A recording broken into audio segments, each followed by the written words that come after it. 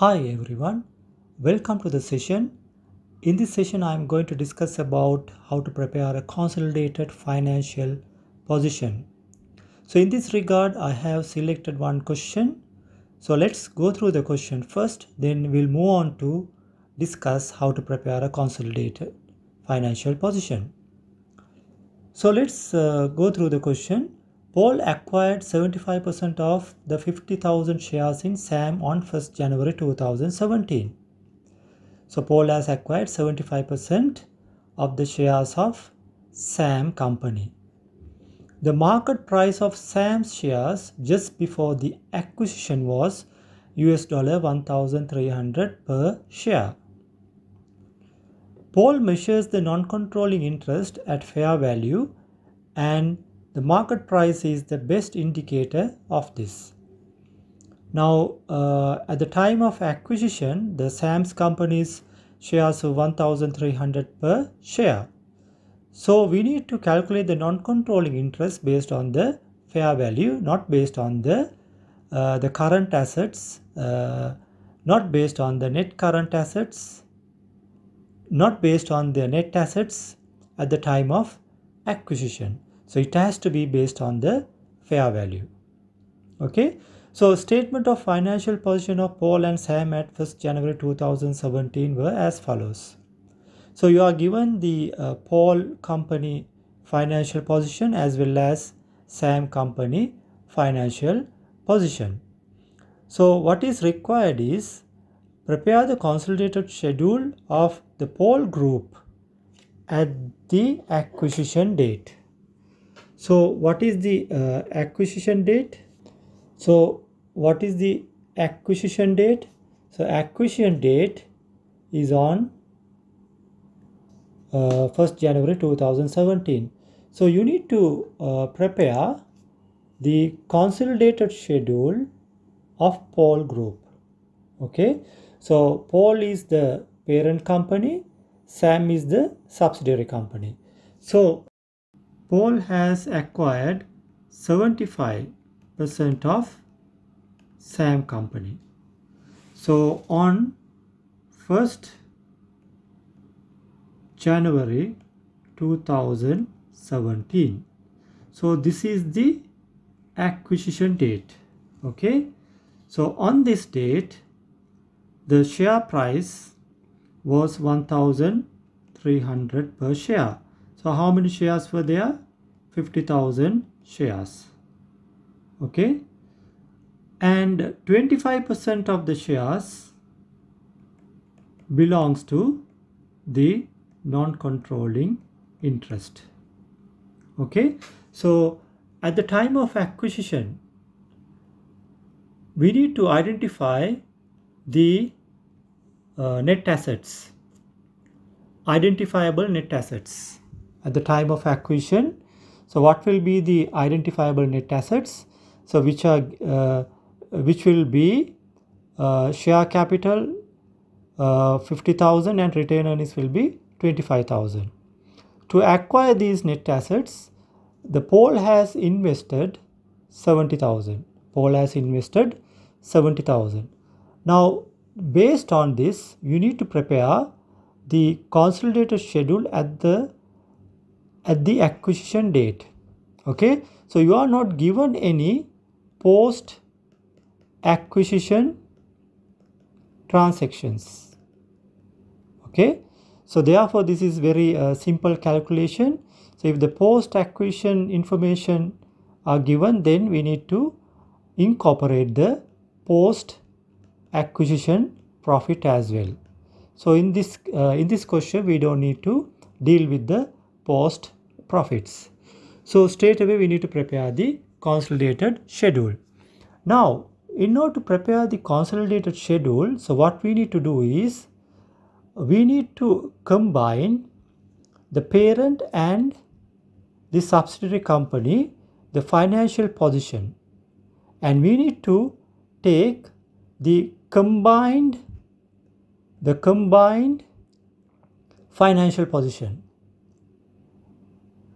then from the combined financial position, we need to make certain adjustments. Okay. So we need to make certain adjustments to identify the consolidated financial position. Consolidated financial position. Okay. So now when you prepare the consolidated financial position, there are certain items which are under uh, financial position of parent company will be removed as well as certain items in the subsidiary companies will be eliminated when you prepare the group financial position because it will not form part of the group. Certain transactions belongs to parent and certain transaction belongs to subsidiary companies will not form part of the group. So therefore we need to make certain adjustments to remove those transactions. So let's move on to the calculation part. So we need to prepare the consolidated schedule as at the acquisition date. Now I have taken the Paul and Sam company financial positions okay and I have already taken the combined financial position. It's a line by line addition. Let's take the first item in the financial position which is the property plant and equipment. So 60000 plus 50000 will be 110000 then shares in s 70000 so this is the uh, investment made by paul company in sam company to acquire the net assets of subsidiary company.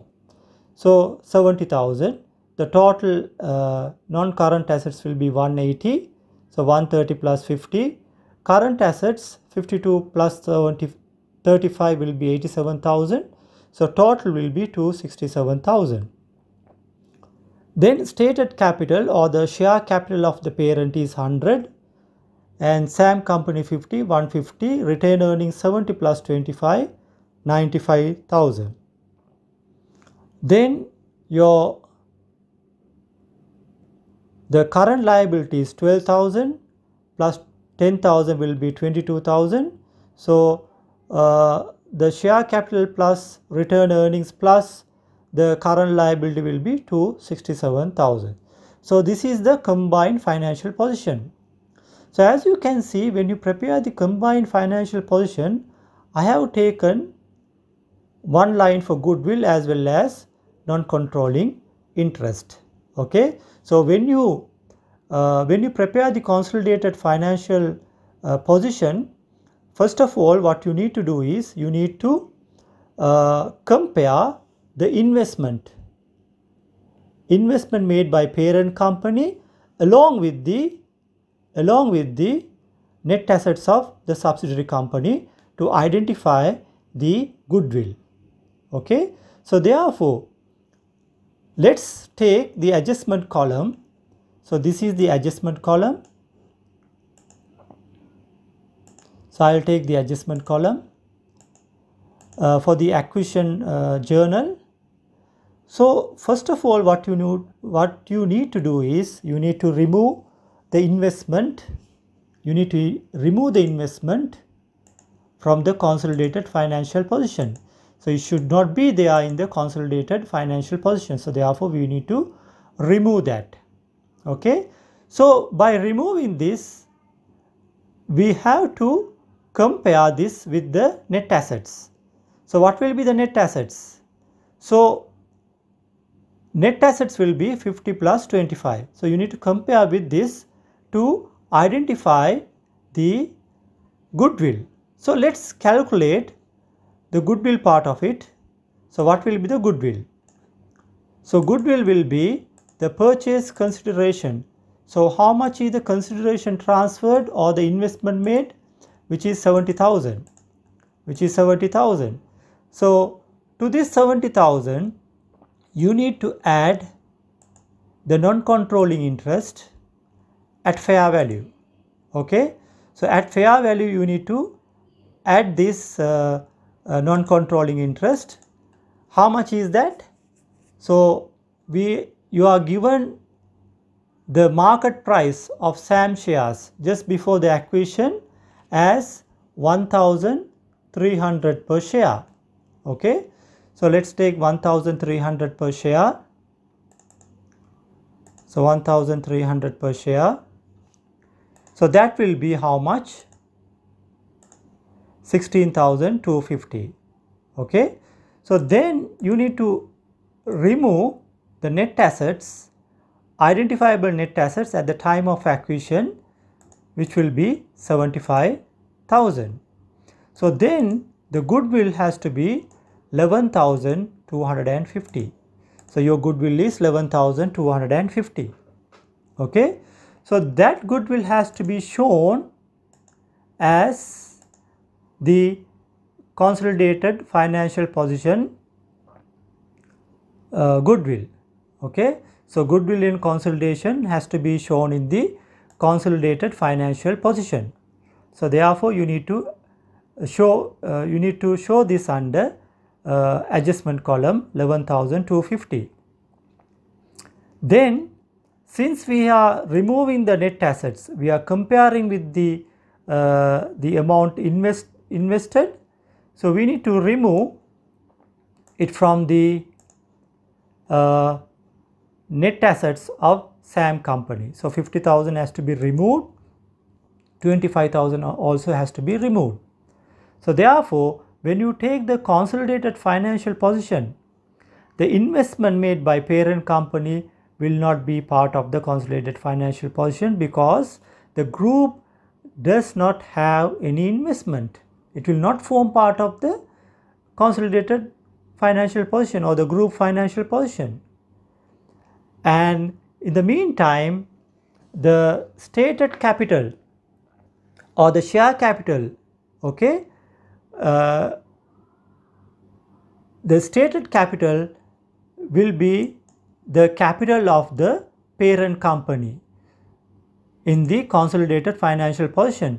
So, in the consolidated financial position, what we have to show as stated capital will be the parent company share capital simply because the owner of the group is the parent company or the Paul, not the SAM, not the subsidiary company. So therefore, the stated capital or the share capital has to be part of the consolidated financial position which is the parent company. The subsidiary company will not form part of the group.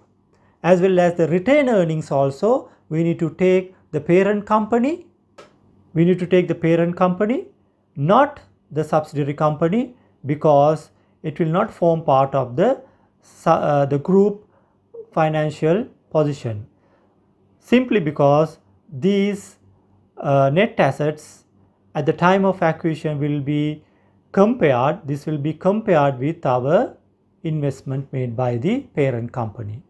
Okay, so we have removed this.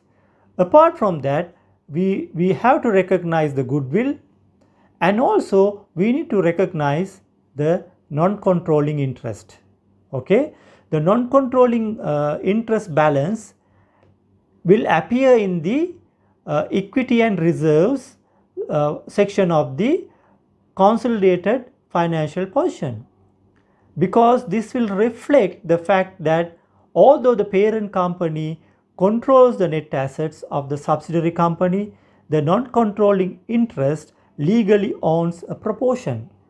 Okay, so non-controlling interest legally owns a proportion of SAM company. So therefore, the non-controlling interest will form part of the group financial position. So uh, we calculated that as 11, uh, how much non-controlling interest?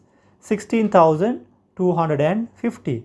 So we have to show that 16,250 as non-controlling interest.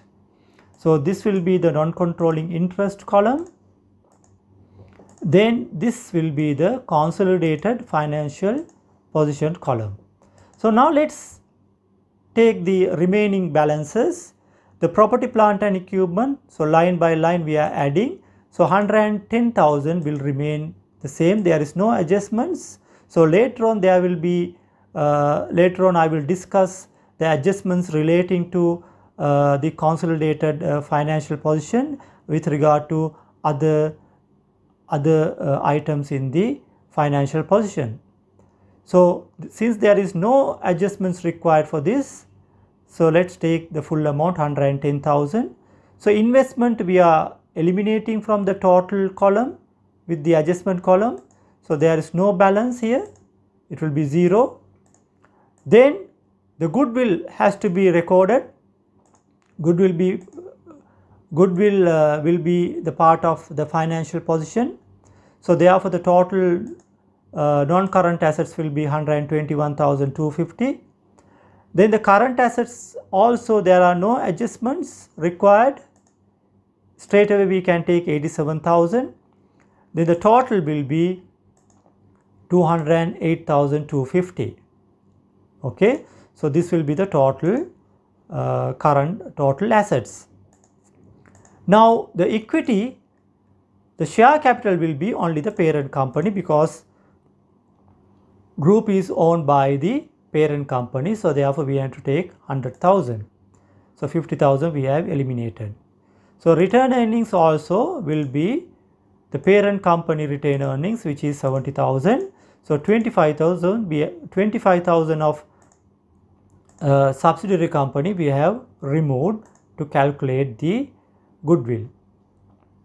Then the non-controlling interest we calculated so this has to be part of our consolidated financial position simply because they own part of the shares in SAM company. So therefore the group has to be, uh, uh, therefore the non-controlling has to be shown in the consolidated financial position. Then the total will be, so 108, 186,250 the current liability, there are no adjustments required. So therefore, you can take straight away 22,000. So when you add up, the total will be 208,250.